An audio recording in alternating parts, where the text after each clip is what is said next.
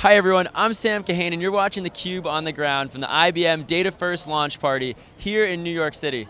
We're lucky to be with Miriam Friedel, a research assistant at Elder Research. Second time on theCUBE today. Mm -hmm. uh, thank you for joining us. Thank you so much for having me. Of course, so you were on a panel earlier. I was. Can you tell us a little bit about that? It was really great. It was with a lot of data scientists and experts in the field. And as I said on the panel, it was really interesting to hear about some of the common challenges that we all face working on different types of data science problems. You know, we're spread out all over the country, all over the world, but we really face a lot of similar challenges. And it was interesting to hear people say back to me things that I have been thinking about myself. So that was really interesting. Right. So you're with like-minded data scientists. So exactly. what are some of the challenges?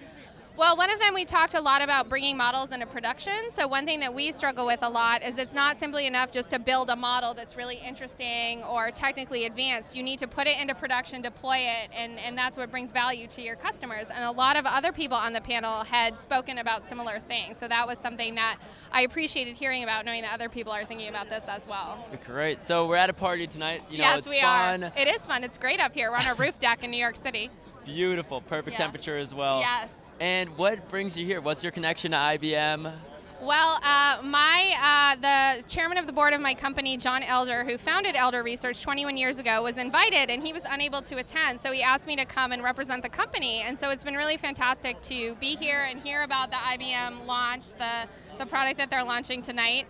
And so that that is my connection. I have used IBM before in some of the data modeling work, but. Um, but yeah, I'm here on his behalf representing the company, and it's an honor to be here. I've had a great time.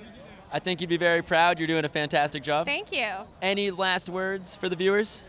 Um, no, just as I said on the panel today, if you happen to be building a model and it looks too good to be true, it probably is. So make sure you check your ETL and your modeling that you're not doing something crazy.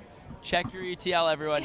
we're, we're here at the IBM Data First launch party. Miriam Friedel, thank you for joining us. Thank you so much for having me. Stay tuned.